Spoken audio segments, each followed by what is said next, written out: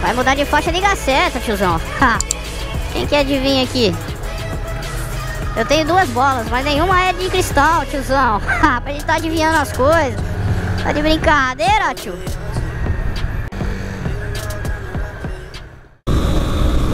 Tá piscando, irmão? Pera aí que eu vou ver.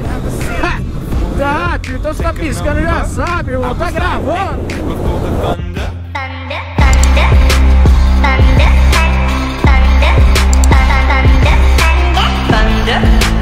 Thunder, thunder, thunder, thunder, Feel the thunder. Tá piscando, irmão? Pera aí que eu vou ver. Tá, então você tá piscando, já sabe que tá gravando, tiozão. Já estamos nós aqui na correria das entregas. Você que está pela primeira vez, você está no canal Barbeiragem Posto de Caldas. É um canal que registra a rotina de trânsito e das entregas de um motoboy motofilmador. É nóis. Quero conversar um negócio com vocês hoje. Um assunto delicadíssimo, tiozão. É complicado, tio. Vou pegar leve pra não ficar mal, tiozão. É o seguinte, é. Todos viram aí as manifestações que ocorreram, né? Aqui na cidade de Poços de Caldas. E não só aqui, como no Brasil inteiro.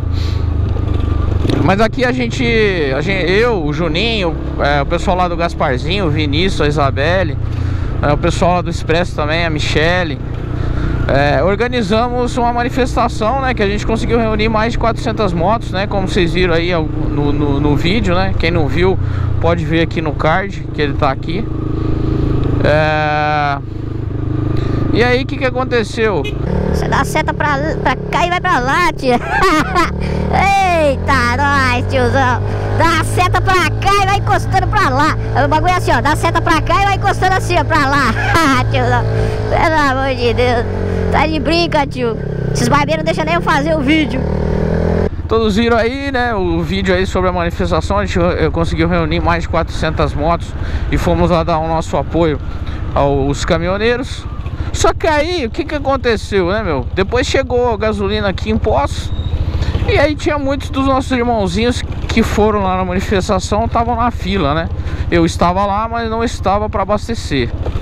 Tava lá para ver a movimentação, né? Inclusive meus patrões lá da, da pizzaria estavam lá também eles foram para abastecer, inclusive para pegar gasolina para os motoqueiros correrem, né? Então, é, eu também fiquei um pouco chateado. Só que é o seguinte: quem somos nós para julgar? Nós não pagamos as contas dos caras, não, não levamos a comida para casa deles, nós não é, pagamos o aluguel deles. Então, eles têm que se virar, não é isso, Igor, Amorim? O Igor Amorim é motoboy aqui em Poços de Caldas. Ele também se manifestou, né, dizendo que é, quem que vai pagar as contas dele, você tem toda a razão. Então uma coisa a gente não gostar e ficar quieto, e outra coisa é a gente não gostar e criticar né, a atitude deles e ofender. Que foi o que essa pessoa fez. Ela ofendeu os motoqueiros que estavam lá na fila do posto de gasolina, do primeiro posto de gasolina que chegou gasolina aqui em Posto de Caldas. Ela ofendeu. Então vou colocar aí para vocês a ofensa, né? Não vou divulgar o rosto dela, vou preservar o rosto dela e a, e a voz. Mas vejam aí, tire suas conclusões. Oi, gente, boa noite, tudo bem? Como que está todo mundo aí? Gente, que vergonha! Os motoqueiros de Poços de Caldas é uma vergonha para a população pós-caldense. É uma afronta pros caminhoneiros. Que pouca vergonha que vocês estão fazendo. Eu sei que vocês têm que levar alimentação para casa também, mas, meu querido, você pode ter o dinheiro. Se você não tiver o que comprar, vai fazer o que com dinheiro? Vai comer dinheiro e beber gasolina? Vocês tudo lá no posto PAN pra abastecer as motinhas. Cria vergonha na cara. Cria vergonha na cara. Vocês tudo lá no posto PAN pra pôr gasolina, aí provavelmente gasolina adulterada, né? Porque não deve ser gasolina boa. Vocês tinham que ter vergonha na cara. Quantos mototaxistas que eu conheço certamente estavam lá, né? Porque os motoqueiros para descer lá para apoiar os caminhoneiros foi. Mas agora resolveram. Ai, mas a gente também precisa da gasolina. Hoje ele vai andar a pé, hoje eu vim a pé embora. Vai andar a pé. Agora vocês ficam nessa vibe aí, ai não, porque não vai faltar nada. Gente, pelo amor de Deus. Deus deu duas pernas e dois braços pra vocês andar. Antes de vocês nascer, as pessoas não tinham carro, não. Andava de charrete, andava de carroça. Agora não. Vem num posto que põe combustível, Caldense cai matando em cima e depois vem falar que apoia o caminhoneiro. Apoia porcaria nenhuma, vocês não apoiam nem os seis. A fila tava até uma esquina dos infernos. Vocês não apoiam nem os seis. Vocês não sabem nem o que vocês estão falando. Agora que a água bate na bunda, vocês, vocês levantam? Mas que espécie de pessoa que são seis? Que pessoa ser humano ser seis? E agora vocês estão aí tudo com medinho de passar fome? Que vergonha na cara, rapaz. Antes de você passar fome, as outras pessoas já passou fome na vida. Nunca faltou um- uma colher de arroz na tua casa você aí fazendo gracinha. Em vez de apoiar os caminhoneiros, mas sabe o que acontece? Eu ando a pé, não tem problema não. Só que eu quero ver todo mundo que tá aí, que tá lá no posto Pampa abastecendo, se vai andar a pé também um dia. Porque depois que os caminhoneiros falassem que não vai mais trabalhar, aí eu quero ver o que vai acontecer. Aí vocês vão beber gasolina. Aí vocês enfiam gasolina no rabo. Bando de vagabundo que estão lá. Ô gente, que que é isso? Povo preguiçoso. Por isso que o brasileiro só toma no cu. O brasileiro tem que tomar é no cu. Porque olha, o brasileiro e os pós-caldenses vai tomar no cu e vai tomar bonito. Sou pós-caldense, nasci em pós-caldas, mas eu não vou tomar no cu por isso. Sabe por quê? Eu não tô apoiando merda de posto de gasolina, entendeu? Que vem com um pouquinho de gasolina e o povo sai caindo, correndo. Ô gente, pelo amor de Deus! Pelo amor de Deus, anda a pé! Povo burro! Burro, analfabeto. Faz, faz faculdade aí, olha, estão tudo analfabeto. A nossa cidade é a cidade da faculdade, mas sabe pra quem? Pra baderneiro que gosta de droga e festinha. Não vira um jovem na rua. Que que adianta você ter diploma, rapaz? Você vai ter que ser catador de lixo depois? Acorda! Vai comer lixo depois. Que que adianta você ter faculdade? Não adianta de merda nenhuma. Foi lá fazer gracinha lá, ó. Mas tá todo mundo aí andando de carro. Ah, Os motoqueiros foi lá, o Charminho lá. Mas não, agora já foi lá correndo pro posto Pampa pra abastecer. Sabe por quê? Não tem um pingo de vergonha na cara. Tem um vergonha na cara. Eu andava de mototáxi, hoje eu não ponho minha bunda numa moto de mototáxi. Nunca mais na minha vida. Eu ando a pé, mas não ando com vocês mais. Meu dinheiro vocês nunca mais vão ver, pra vocês aprender. Aprender, andei muito de mototáxi, eu não ando mais, não vou andar mais. Eu ando a pé, mas não ando com vocês. Eu ando de busão da circular, eu dou dinheiro pro Flávio Cansado, mas pra vocês eu não dou. Eu era, não andava de ônibus por causa do Flávio Cansado. Agora eu vou apoiar o Flávio Cansado pra não andar com vocês. Porque onde que se conta vocês lá abastecer lá? Que vergonha! Que vergonha! Povo preguiçoso! É tudo sanguessuga igual o Temer mesmo. Tem mais é que tomar no cu, pagar 20 conto na gasolina. Eu não tô me lixando, não tô me lixando com vocês agora. Eu quero mais que se foda. Se vir um me reclamar, ainda vai levar na cara ainda. Porque eu vou dar na cara. Vou. Tá, eu tenho, eu tenho minha moto, meu marido tem a moto dele. Nós temos um pouquinho de gasolina pra ir trabalhar e voltar. Só que a hora que acabar, nós vamos a pé. Só que os motoqueiros pra mim acabou. Acabou. Uma fraude. Vocês são uma fraude pro Brasil. Vocês não são uma, uma, umas pessoas que lutam pelos direitos de vocês. São patriotas. Não são patriotas, não tem amor à pátria que vocês moram, não tem amor ao país que vocês moram, não tem amor à cidade que vocês moram, vocês não têm amor a nada. A nada. Até mais ver. Tchau. Aí depois, né, meu? Eu entrei lá e, e, assim como eu e outros motoboys, acabou viralizando aqui em Poços de Caldas, né, meu? Todo mundo começou a mandar o link para todos os motoboys, motoqueiros aqui da cidade. Começou a viralizar. E aí eu também entrei e coloquei essa frase aí.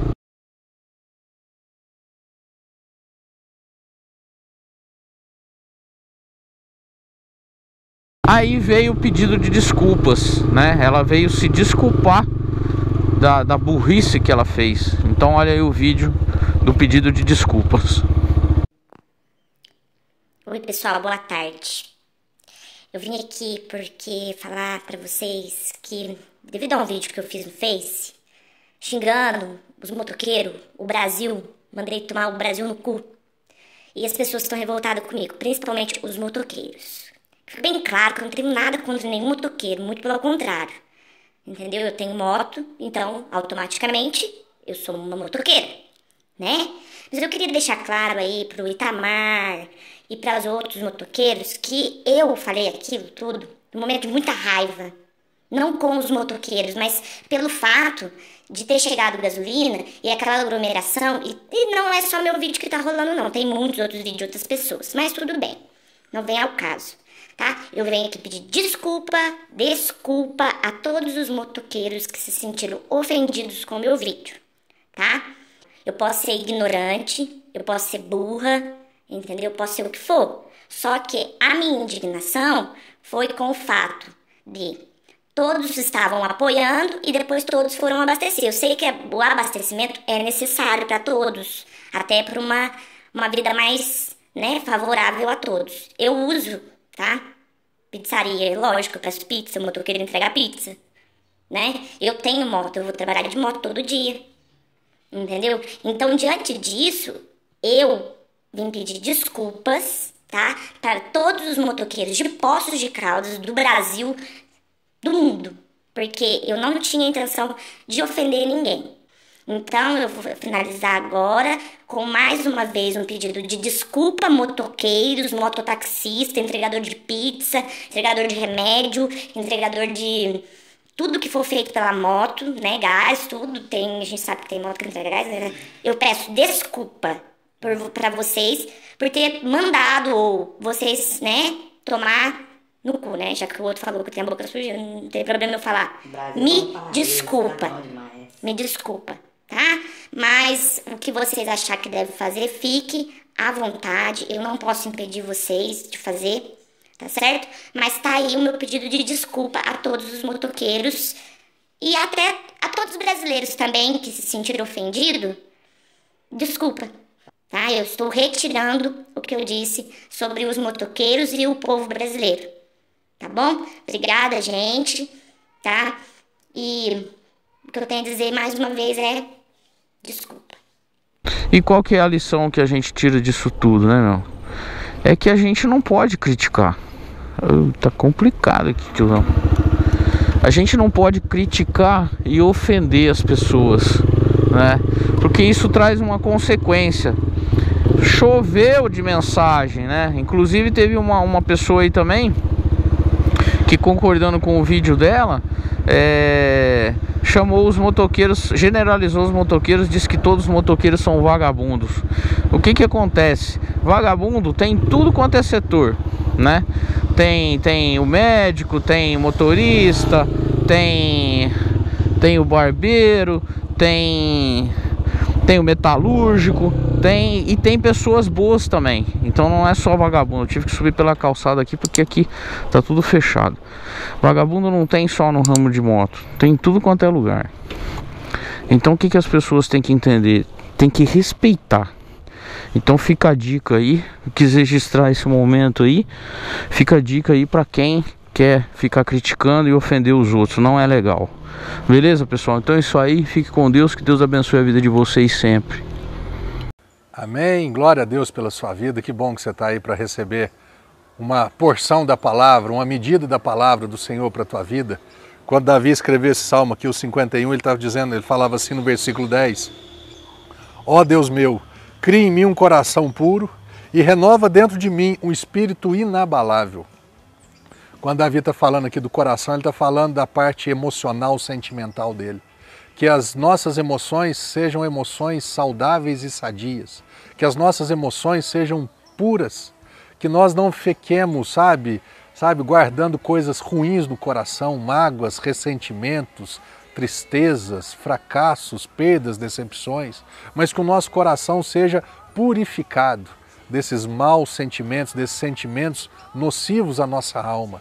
E ele fala também: e renova dentro de mim um espírito inabalável que o nosso espírito, ainda que estejamos vivendo nessa terra que é imperfeita, ainda que o nosso corpo não seja perfeito, ainda que as nossas emoções e sentimentos não sejam perfeitos, ainda que o que temos visto e ouvido, pensado e sentido, que nada disso seja perfeito, que o nosso coração não se, que a nosso, o nosso espírito que nasceu de novo em Cristo não seja abalado por nada disso, que nós tenhamos esse espírito inabalável, apesar das coisas não estarem talvez saindo do jeito que era para sair, talvez eu não esteja vivendo o que eu gostaria de viver, talvez eu não esteja experimentando aquilo que eu gostaria de experimentar, mas o meu espírito ele é inabalável, ele continua firmado em Cristo, tendo sempre a certeza, a fé, a confiança de que nele, a qualquer momento, milagres podem acontecer.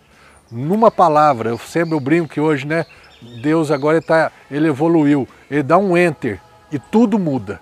Ele digita, ele clica uma tecla e tudo muda. Você acredita em Deus assim? Esse é um espírito inabalável. É isso que Deus deseja, que Davi queria e que Deus deseja fazer na sua vida e na minha vida. Amém?